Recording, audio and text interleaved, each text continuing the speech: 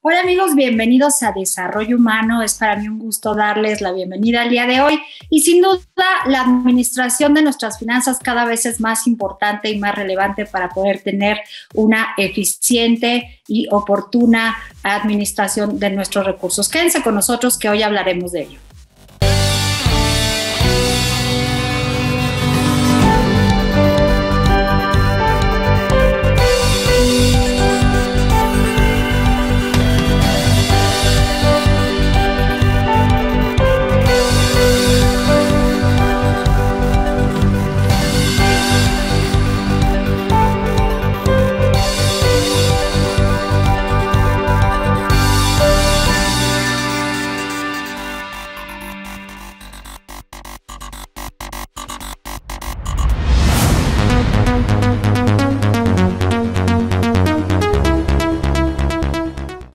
Amigos, bienvenidos como siempre. Pues bueno, recordando que este espacio de desarrollo humano es un espacio para que todos aprendamos conjuntamente y qué bueno aprender de finanzas porque de repente como que no nos gusta, como que parece que nos es ajeno, que es demasiado difícil. Y para ello tenemos una invitada muy especial que nos hablará acerca de este tipo de finanzas. Sobre todo, vamos a hablar de la planeación de nuestro dinero, de, qué es lo que tenemos que hacer con ello.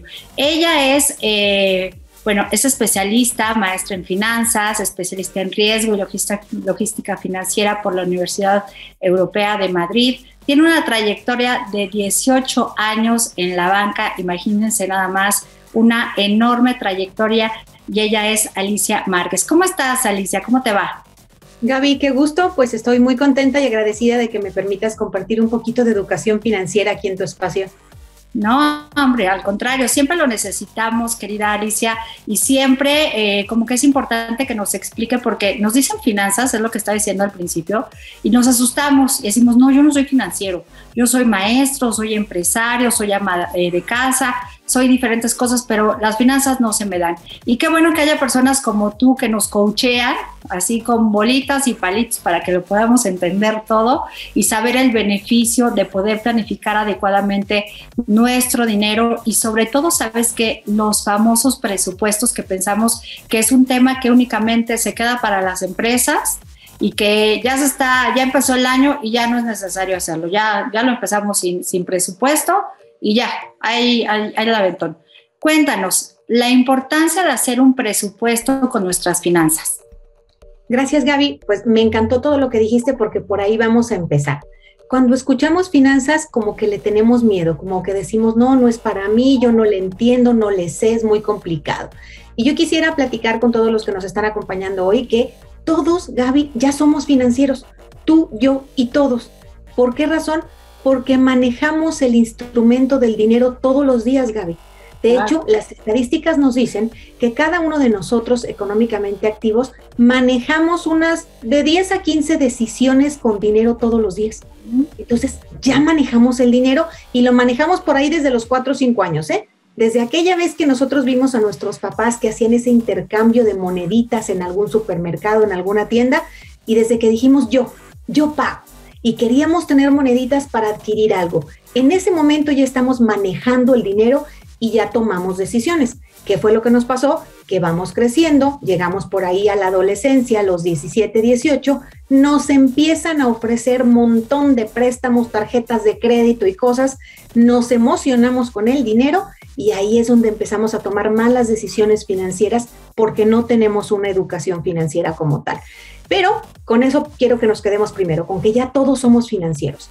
Luego decimos, entonces, ¿qué nos hace falta para manejar adecuadamente el dinero? Pues ahí es quitarnos por ahí esas ideas de que no podemos hacerlo y aprovechar las herramientas que existen en las finanzas para poder hacerlo. Una de las principales herramientas para la planeación es el presupuesto. Pero fíjate que el presupuesto, Gaby, inicia con que yo conozca cómo es que yo gasto. Cuando me dicen, Alice, la mejor herramienta de las finanzas es el presupuesto. Le digo, no, la mejor herramienta es el registro de gastos. Porque yo puedo hacer un presupuesto, Gaby, bien bonito. ¿eh? Yo puedo decir en qué quiero gastar y hasta lo pego en el refrigerador, pero de eso a que lo siga, ese ya es otra cosa. Entonces ahí se puede ver bien bonito. Entonces, ¿cómo debemos empezar para, para planear mejor nuestras finanzas? Hacer un registro de nuestros gastos de por lo menos 30 días, Gaby. Yo sé que al principio da flojera. No, deja la flojera. Yo creo que te mueres de susto de ver en todo lo que gastas sin darte cuenta. Siempre les digo, les aseguro que si ahorita decimos, yo sé en qué gasto, y hacemos el ejercicio de que durante 30 días anotamos todo, todo lo que gastamos, al final vamos a necesitar un bolillo para el susto, Gaby, o como decimos, un panecito para el susto, porque la realidad es que es inconsciente. Cuando nosotros hacemos ese registro de gastos, al final de los 30 días vamos a separar cuáles son los gastos indispensables y los no indispensables. Les voy a platicar. ¿Cuáles son los indispensables? Ah, bueno, pues los indispensables son la vivienda, los servicios, los alimentos, el transporte, la educación y la salud.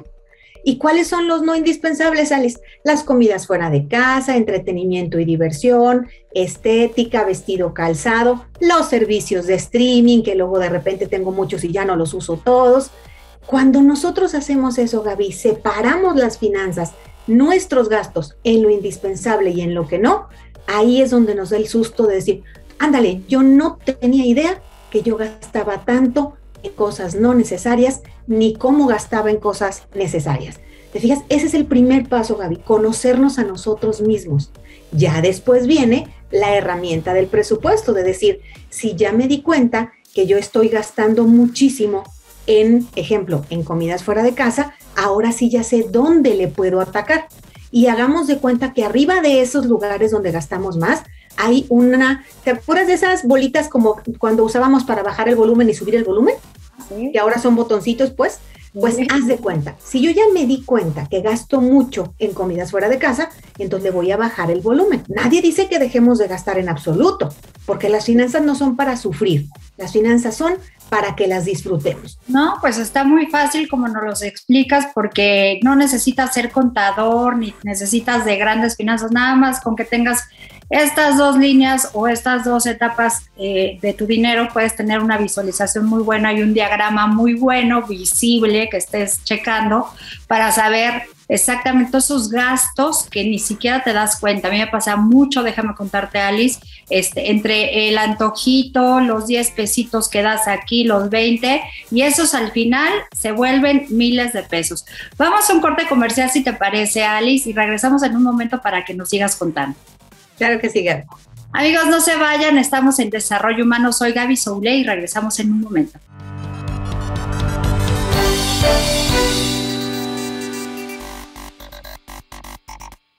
¿Conoces una plataforma de capacitación? IDC Click es un servicio de streaming para tu capacitación en cualquier dispositivo.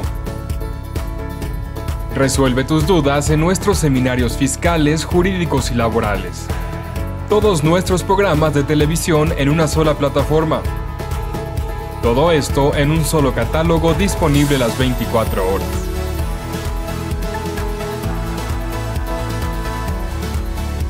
Únete a la familia IDC con la mejor plataforma para una capacitación completa. IDC Click, tu mejor opción.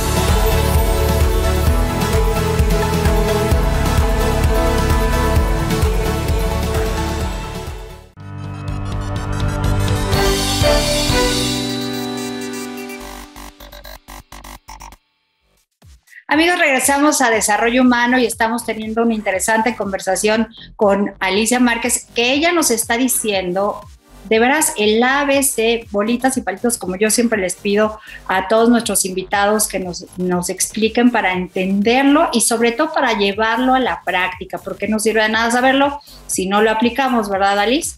Entonces, nos, nos, estabas diciendo, lo importante es que tomes conciencia de tus gastos, primer punto cuánto, en qué gastas, cómo lo gastas y, y que hagas tu total, total de esos 10, pesitos que yo te decía, que dices, ay, no son 10 pesitos, son 5 pesitos.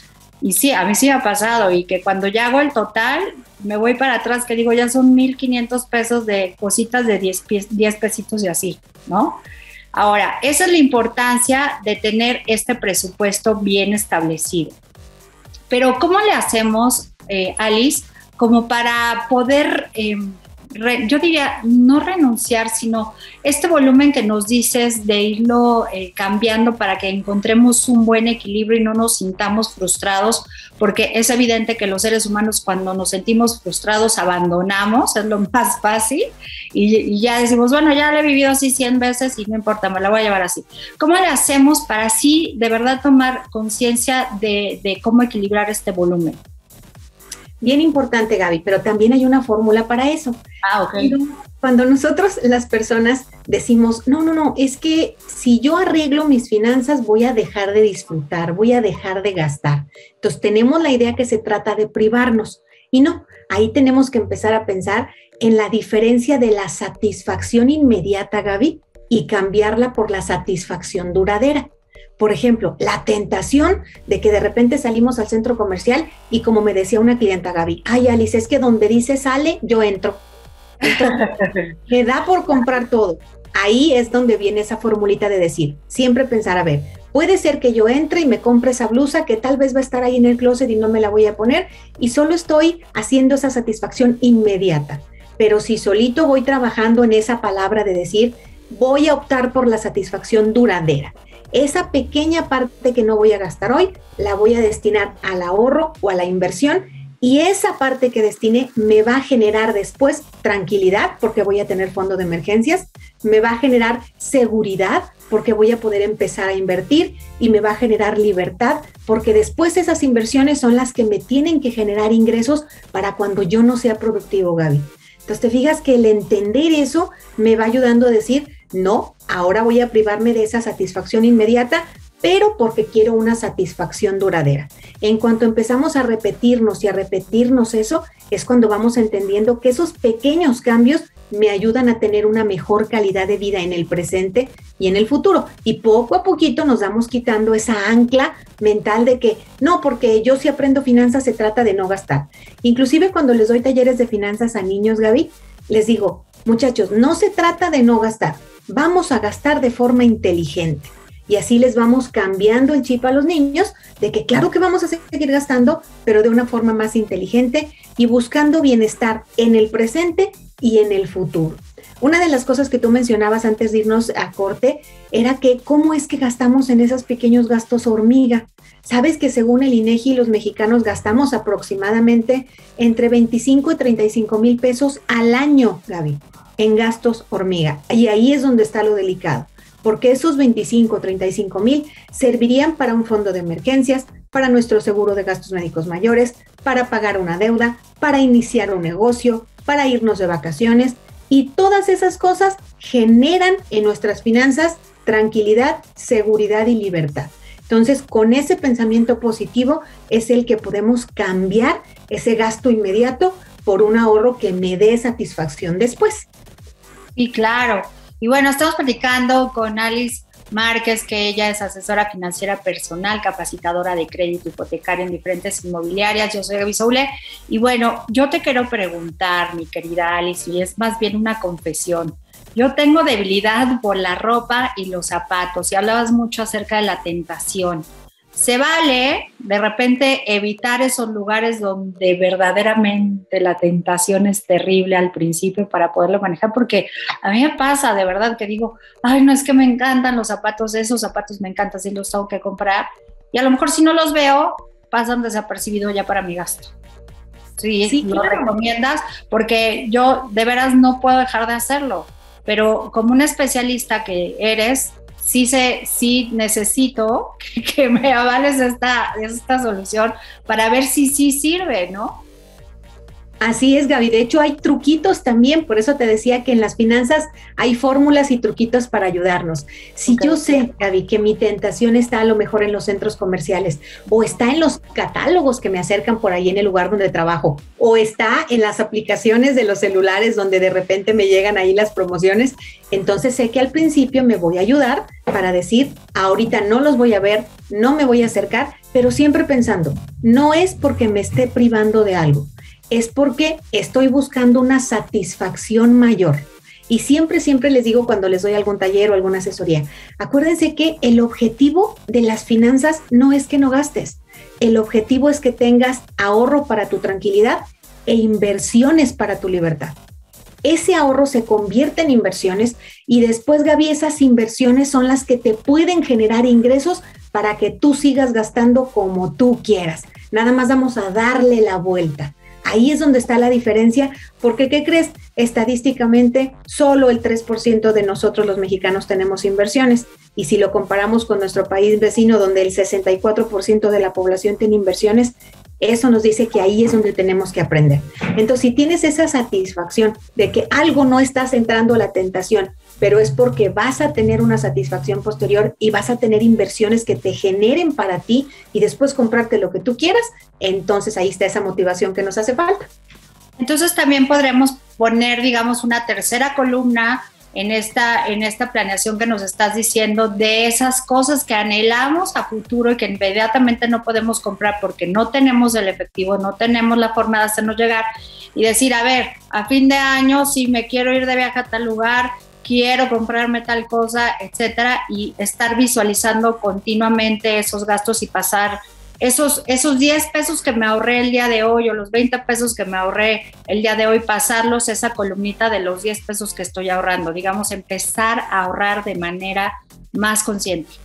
Definitivo, Gaby, tenemos que tener la motivación. Entonces, dijiste algo muy bueno. A un ladito de esa separación hay que poner tus metas financieras de este año, vamos a suponer. Y esas metas financieras pueden ser a corto plazo, tres meses, a mediano plazo, seis meses, a largo plazo, un año. Y ahí podemos poner vacaciones, cambiar la computadora, enganche del coche, cambio de guardarropa. Y el verlas ahí y pegadas en el refri nos va a acordar el por qué estamos haciendo ese cambio financiero. No sacrificio, cambio financiero. Esa palabra es muy importante y con esa nos vamos un corte comercial, mi querida Alice, y regresamos en un momento. Amigos, no se vayan, regresamos, estamos en DH Desarrollo Humano.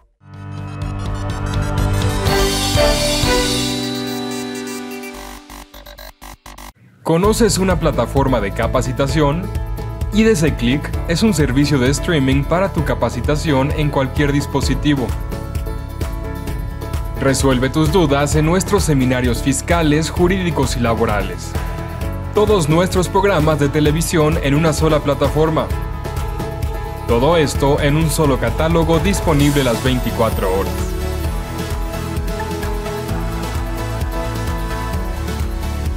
Únete a la familia IDC con la mejor plataforma para una capacitación completa.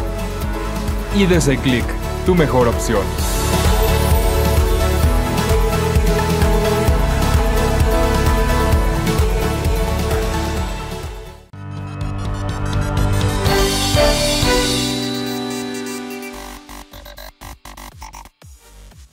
Amigos, regresamos y seguimos hablando acerca de nuestras finanzas, el cómo organizarlas.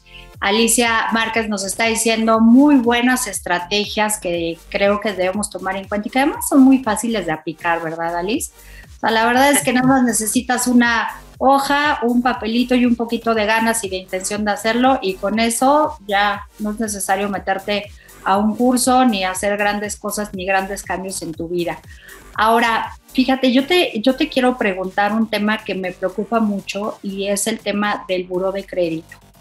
Eh, y me quiero pasar ahí porque también en el tema de no planificarnos, el, el hecho de no hacer esta planificación que llevamos dos cortes hablando, pues hay muchos mexicanos que están en el buro de crédito y que no pueden acceder a un crédito en un momento que es indispensable, que es urgente y que no saben ni siquiera primero cómo consultar si están, cómo salirse de él, si sí se puede, si no se puede. Cuéntanos, tenemos bien poquito tiempo porque yo sé que es un bloque pequeño, pero cuéntanos así lo indispensable del tema de buro de crédito que mucha gente desconoce.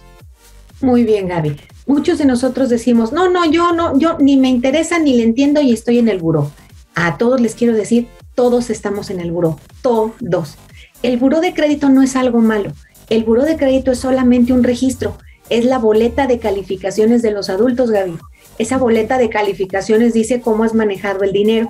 Entonces es muy importante. Les recomiendo a todos una vez al año sacar su boleta, su boleta o su buro de crédito y se saca en www.burodecredito.com.mx, pegadito todo y en minúsculas.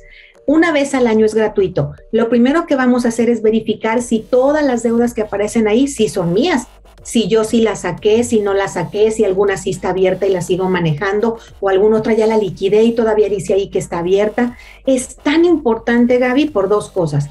Si yo lo checo seguido, ahí me puedo dar cuenta si alguien usurpó mi identidad, si alguien tomó un crédito que no fui yo y lo puedo arreglar, hacer una reclamación. También me puedo dar cuenta cómo está mi calificación y procurar irla cambiando. A veces me dicen, no, pues yo ya tuve una tarjeta y no la pude pagar y pues ya no puedo hacer nada. Ya estoy en el buró. No, no es malo estar en el buró. Yo puedo ir haciendo cosas en mis deudas, puedo pagarlas bien las otras que tengo y se va a ir limpiando mi buró de crédito, Gaby. Es tan importante porque no sabemos en qué momento de nuestra vida, Gaby, vamos a necesitar de un financiamiento. A veces podemos necesitarlo para una oportunidad, para adquirir patrimonio, una casa, un coche, a veces lo podemos necesitar para poner un negocio y si nuestro buró no está listo o no está limpio, podemos perder esa oportunidad. También me ha tocado casos donde me dicen, Alice, es que yo tuve una necesidad urgente por una enfermedad o un accidente familiar y ¿qué crees? Yo quería ir a sacar un crédito bien en una institución financiera y no me lo dieron por estar en el buró y no me quedó otra alternativa que irme a esos préstamos feos con los agiotistas. Entonces, ¿te fijas cómo es tan importante el buró? Por eso la invitación es a entender que no es algo malo, todos estamos en el buró. La segunda es que saquemos nuestro buró de crédito para revisar que nuestros datos estén correctos, que lo que viene ahí de deudas sí sean mías, las que están vivas, las que no. Si hay alguna que vemos ahí que diga, yo ya la había liquidado y todavía parece como abierta, ah, entonces hay que hablar, hay que acercarnos a la institución para poderla cancelar y que no quede ahí la manchita. Y hay que seguir manejando lo mejor posible nuestros créditos para que veamos cómo se puede ir limpiando el buro de crédito y que esté listo para cuando yo tenga o una necesidad o tenga que aprovechar una oportunidad, porque créeme que hoy en día hay muy buenas oportunidades en el sistema financiero mexicano, Gaby. El financiamiento debe servir para lo que fue creado.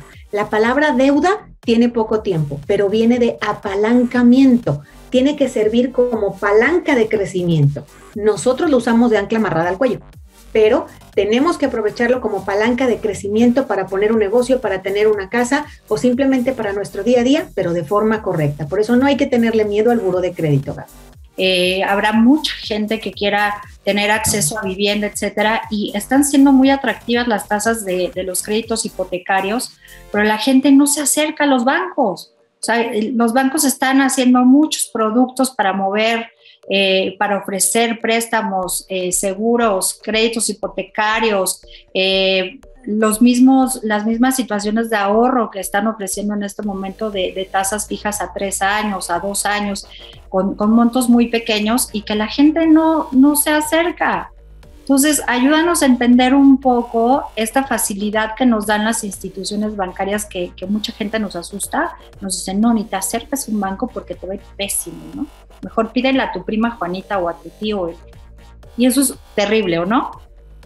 Así es, Gaby. De hecho, es bien importante que sepamos cómo funciona el sistema financiero.